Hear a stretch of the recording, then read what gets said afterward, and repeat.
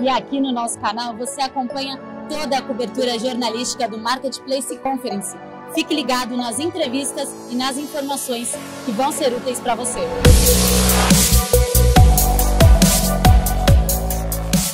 Engenheiro pela Unicamp, hoje ele é sócio e diretor de marketing na Singu.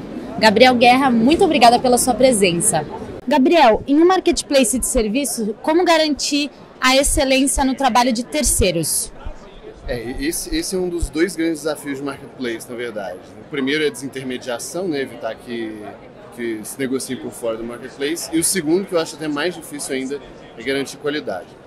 Especialmente no caso da Singu, a gente escolheu resolver isso através do que a gente chama de marketplace de curadoria. Né? Então, na prática, a gente deliberadamente é, seleciona, recruta e, enfim, tem todo um processo para garantir qualidade.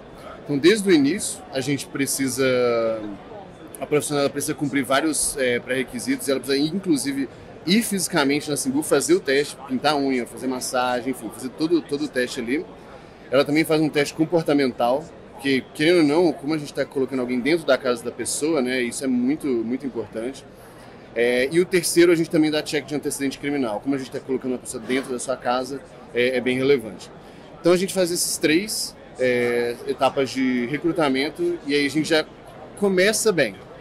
Depois a gente tem ainda é um treinamento logo que elas entram e por fim, ao longo do, vamos colocar assim, da, da do tempo que ela tá, da, que a profissional está com a gente, ela precisa cumprir uma série de requisitos. Elas são avaliadas, elas são, é, enfim, constantemente avaliadas e de acordo com nota ou com infrações, elas são chamadas para reciclagens, elas são chamadas para novos treinamentos. A gente também agora vai ter uma, uma linha de treinamento de aperfeiçoamento, dependendo se ela está com nota ruim ou não.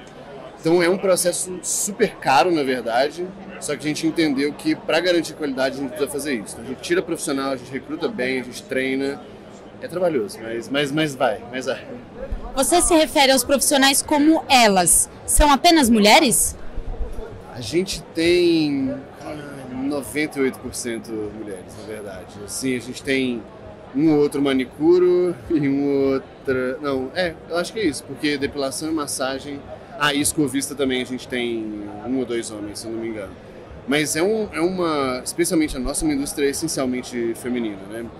O nosso. Até os nossos clientes, nossos clientes também, mesma coisa. 95, 90. Enfim, depende do mês, mas é quase 100% feminino. Tem um caso ou outro, mas a maioria é mulher.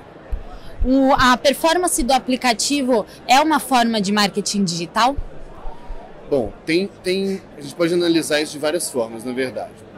É, quando a gente fala de performance para trazer usuários para o aplicativo, ou seja, é, as campanhas de anúncio, de SEO, é, de, de mídia, de um modo geral, né, offline, eventos, tudo, a grande maioria que a gente faz sim é considerado marketing digital. Só que tem várias coisas que já tem muito mais a ver com o que a gente chama de retenção. Então a gente quer que a, que a nossa cliente continue usando.